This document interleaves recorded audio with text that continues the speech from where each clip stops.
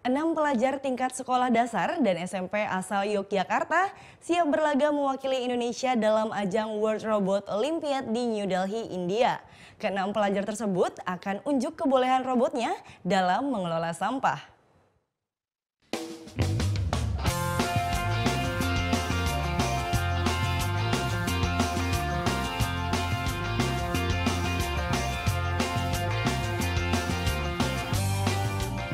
Inilah robot pengelola sampah para pelajar di Yogyakarta yang akan mewakili Indonesia dalam ajang World Robotic Olympiade di New Delhi, India. Robot ini diciptakan untuk mengelola, mengolah, serta mendaur ulang sampah dan limbah. Terinspirasi dari permainan balok sewaktu kecil, robot ini dapat mendeteksi sampah dan membuangnya sesuai dengan ukuran sampahnya. Robotnya itu um, merupakan robot pemilah sampah jadi ada empat tempat sampah dengan warna yang berbeda lalu robotnya perlu mengambil empat uh, sampah yang berbeda dengan warna yang berbeda dan memasukkannya pada tempat sampah yang sesuai dengan warna yang sesuai dan ukuran yang sesuai. Tadi persiapannya berapa untuk sampai terbentuk robot ini? Uh, sekitar dari bulan April.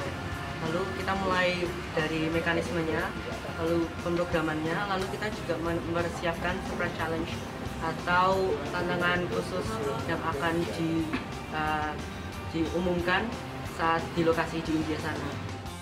Dua tim akan diberangkatkan sekaligus ke ajang World Robotic Olympiade. Masing-masing tim akan mewakili kategori elementari dan junior. Tim ini sebelumnya sukses menjuarai Indonesia Robotic Olympiade di Surabaya September lalu. Mereka optimis dapat menaklukkan para juara tingkat Olimpiade nasional dari seluruh dunia. Peluang saya rasa pasti ada ya. Peluang saya rasa pasti ada. Cuman ada faktor penting yang tidak bisa diabaikan. Kita perlu uh, bisa menyiasati segala sesuatu.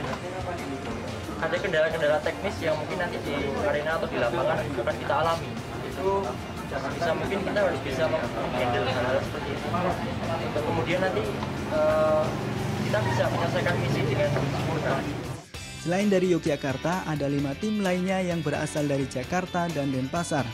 Perwakilan dari 60 negara akan bertanding di ajang World Robotic Olympiade di New Delhi, India, yang digelar 25 November mendatang.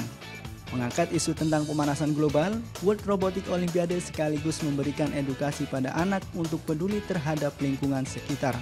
Andreas Pamungkas melaporkan untuk NET.